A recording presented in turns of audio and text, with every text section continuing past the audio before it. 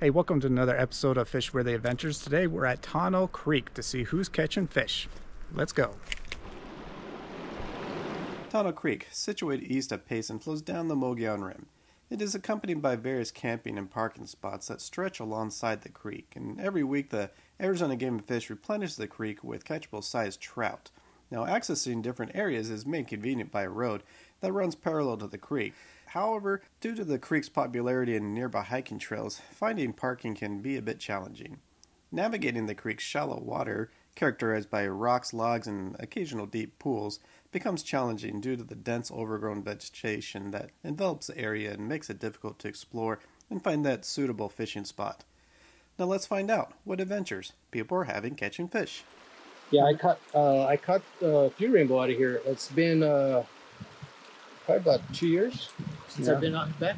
I Yeah. catch them at least, and just more for the sport and getting out in nature for me. Pretty good size for right there.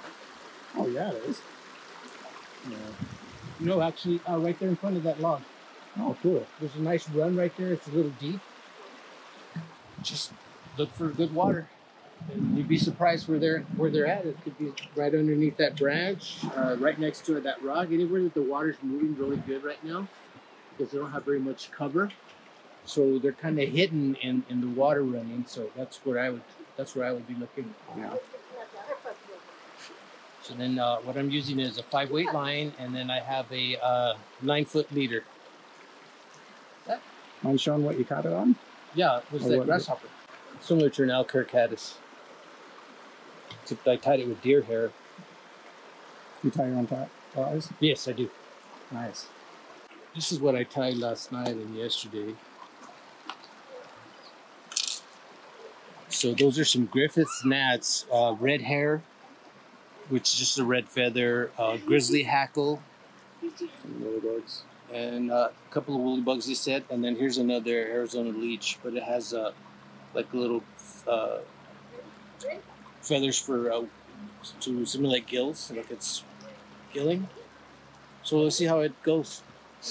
Over at uh, whispering pines they're uh, stocking gila trout Oh, yeah? and then I got uh, I caught uh, eight of them over there, Gila trout, and I was using a Griffith's gnat, black and white, Black and white group and snap. then uh, brown and white, and it's size uh, 14. And then the, the knot I'm using is a Davy knot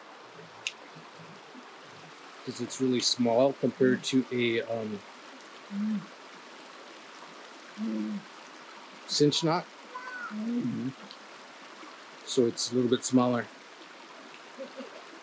and stronger. This is an Arizona leech. See if that'll catch anything.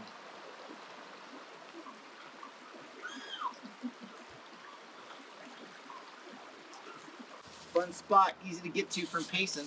Actually, already filleted it, so it's not going to look too pretty.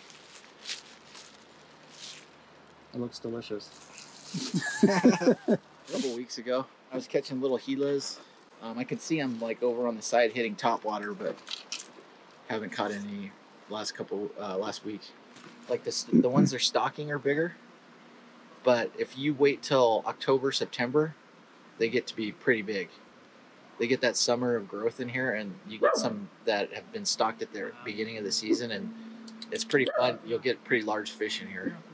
I was using trout magnets, little tiny jigs, and Yeah. they're biting really well.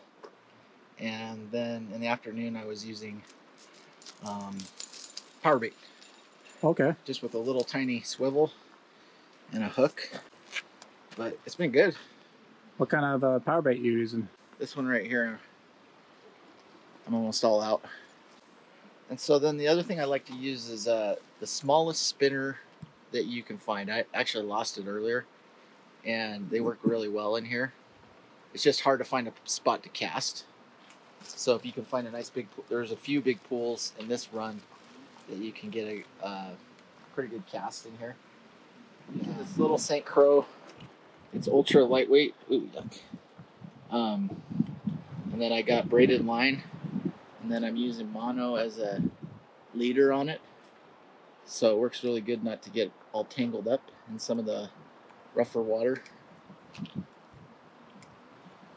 So I probably got about seven foot of mono on the end of it. Okay. Really relaxing. Lots of people walking through. Sometimes people go swimming in the hole you're fishing in. it's funny though, the people swim in it, and then once they're out of it, the fish start biting again. It doesn't really spook them at all. Because they're just stockers. Well, that concludes this fishing report. I hope you have enjoyed watching this episode, and if you'd like me to visit a fishing spot, just let me know. As always, be sure to like and leave a comment below, and don't forget to hit that subscribe button to the channel to see more episodes and fishing reports like this. Thanks for watching Fishworthy Adventures.